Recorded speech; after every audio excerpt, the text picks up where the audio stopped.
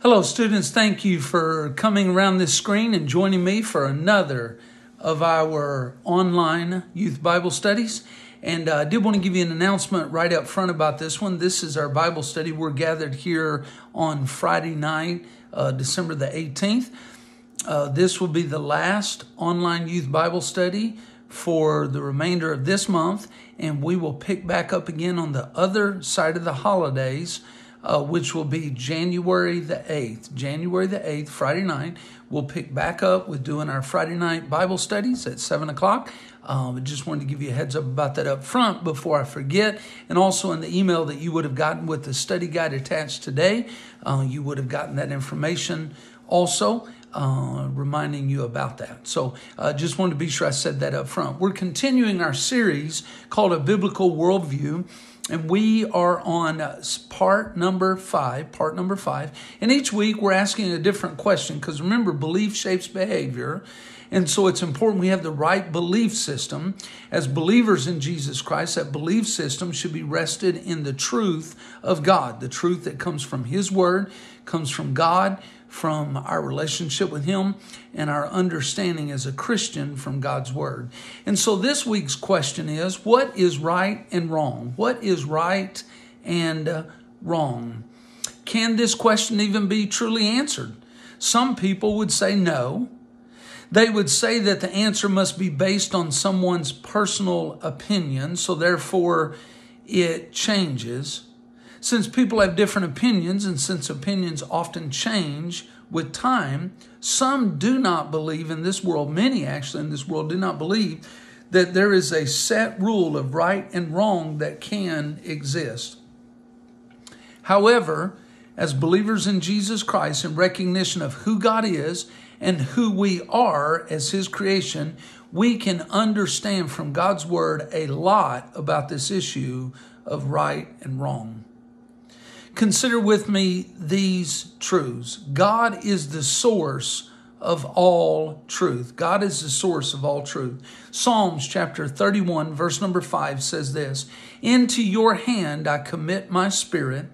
You have redeemed me, O Lord God of truth. The psalmist was recognizing in his praise to God that God is the God of truth. A second truth that I want you to see. Number one is that God is the source of truth. Number two, God Himself, His character, God Himself, is the standard for what is good and right. Deuteronomy chapter 32, verse number 4 says it like this.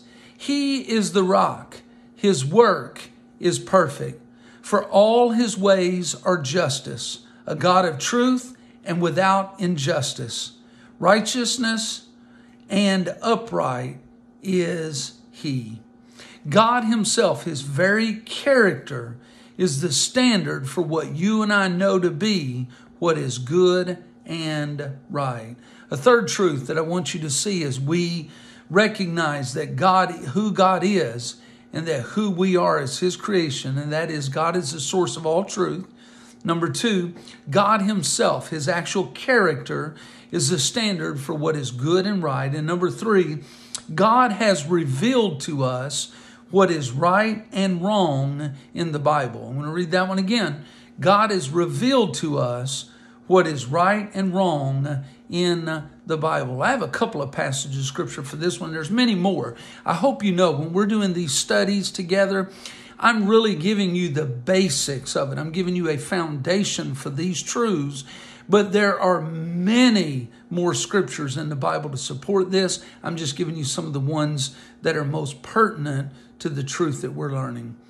This truth being God has revealed to us what is right and wrong in the Bible. Psalms chapter 19, verses 7 through 11. Psalms chapter 19, verses 7 through 11 says this The law of the Lord is perfect, converting the soul.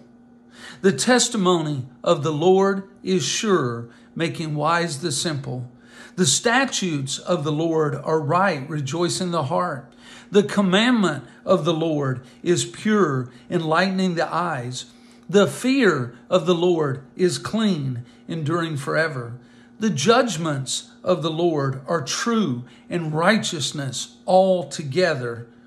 More are they to be desired than gold, yea, than much fine gold, sweeter also than honey and the honeycomb. Moreover, by them your servant, that's speaking of you and I, moreover, by them your servant is warned, and in keeping them there is a great reward. That's what the psalmist wrote for you and I in Psalms 19.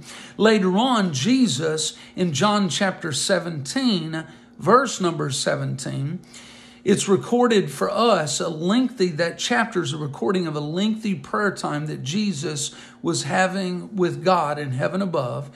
We refer to it in Bible study as the high priestly prayer. It was Jesus praying for us. And John took the time to record much of that prayer he was having with God. And Jesus said this in John 17 and 17 when he was praying for you and I. Jesus said, Sanctify them by your truth. He was talking to God, by your truth. Your word is truth.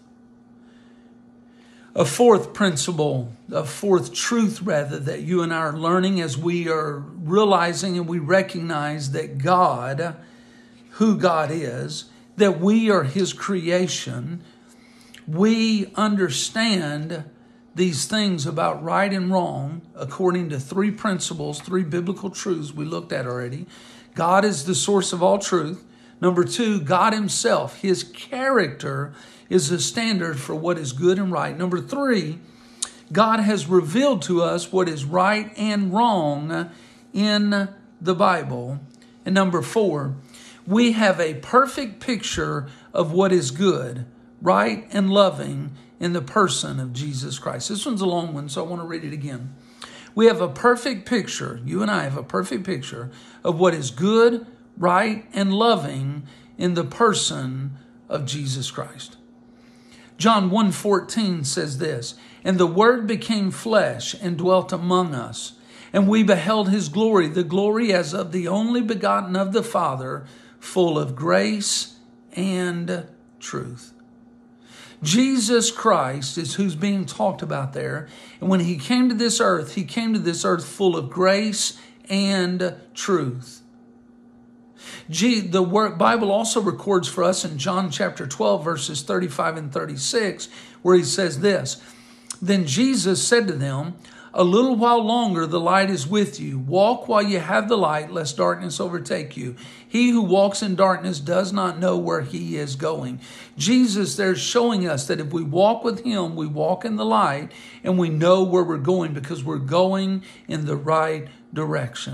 We also have the reassurance from Jesus in the words of John chapter 14 verse number 6 where Jesus said that I am the way, the truth and the life. No one comes to the Father except through me. Jesus, there again, reminding us that He is the way to heaven, the way through to salvation. He is the truth about that. Truth is a person, and His name is Jesus. And He also said that He is the life, and He is the way that we get to God. He is the way that we make it to heaven. Absolute truth. Let's talk about that for just a moment. Absolute truth. Thought people's opinion, thought people's opinions may change. God's law does not. What people think, their opinions and everything else is going to change, but God's law does not. He is truly unchangeable. What he said was good and holy 2,000 years ago in the Bible when it was first written is still good, true, and holy today. The principles of truth God has given apply to every nation, culture and person today. It's not for a certain ethnic group and not another. It's not for one nationality or another. It's not for one uh, nation and not for another nation or one continent, not for another continent. It is God's truth, period. Our basis for truth is the absolute truth of God's word. Matthew chapter 24 and verse 35 is recorded like this Jesus speaking Heaven and earth will pass away, but my words will by no means pass away. Jesus was reminding us that a lot of things are going to come and go. Everything will go away at some point, but that His word will remain forever, meaning His truth will remain forever, meaning His truth that was given then is still His truth today and always will be. The impact of moral truth within our worldview, you and I, we're making this personal. From understanding what a marriage should look like to grasping the right way to show love, we must recognize that God is the standard and judge of all morality. Doesn't matter what it is, God is the standard and judge of all morality. We must not be swayed by popular opinions or the changing views of those that are around us. God has given us the answers as to what is right and wrong in His Word, your Bible, and our focus should be to stand by them and make them a part of our lives. John chapter 8, verses 31 and 32, and these will be the closing verses for us in this Bible study, says, And Jesus said to those Jews who believed him, If you abide in my word, you are my disciples indeed, and you shall know the truth, and the truth will make you free. And the truth will make you free. Students, what I want to give you for your homework this week. Last week, I know we asked a number of questions. We looked last week as what the role of friends are in my life as answering that question. And I ask you to evaluate your friendships, those that are friends toward you, and how you are a friend toward others. This week, though, I want to give you a little bit different challenge, a little bit different homework, and that is this. Go back through this study guide that was emailed out to you. And if, if you didn't get one and you'd like one, all you have to do is leave us a message with an email address.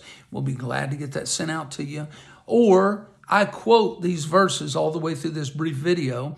You can easily just pause it and look up the verse yourself. But here's your homework for this week. Choose one of these passages of scripture that I've mentioned in this Bible study tonight. Choose one of them and memorize it. Write it down on a piece of paper and carry it around in your pocket and memorize it. Maybe put it in your notes app on your phone and pull it out and look at it. You might even want to make a make a creative, artful meme out of it and put the verse in there and put it as a screensaver on your phone or your tablet or the screen on your laptop. Whatever you do, put, tape it up next to your bed, a note with that verse on it. But let's take a passage of scripture from this Bible study and memorize it and put that truth deep down inside of us. Why is that so important? The Bible says that we hide God's word in our heart to help us not sin against Him.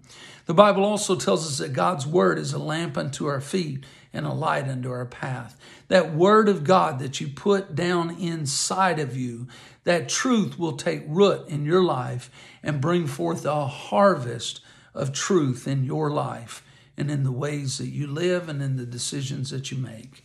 Let me pray with you, for you, and over you now, specifically, that God would help you to pick a verse, pick a passage of scripture from this Bible study and memorize that. Let's pray. God, we love you and we thank you. Grateful for you, grateful for your word, the Bible that you've given us, God. So, Father, I ask you right now that you'd help each and every one of these students, God, that one of these passages of scripture would be alive to them, that it would come alive, that it would pique their interest, that it'd be something that they want to know more and more about. And let that be what they memorize, that particular part of your word that they hide in their hearts, God. Father, I thank you for every one of these students. Bless them. Help them to have a marvelous time of celebrating Christmas, the birth of your son.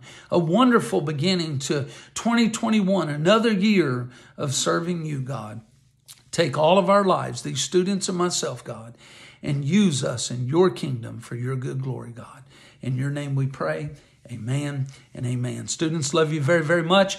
Believing that you are going to have a blessed and Merry Christmas as we celebrate the birth of our son Jesus Christ, and uh, believing that you are going to have a wonderful time of closing the book on 2020 and opening a new chapter in your life called 2021. God bless you a whole bunch, of students. Look forward to seeing you next time together in virtual Bible study. Will be January the 8th. Be sure you put it on your calendar. See you then. God bless you. Bye now.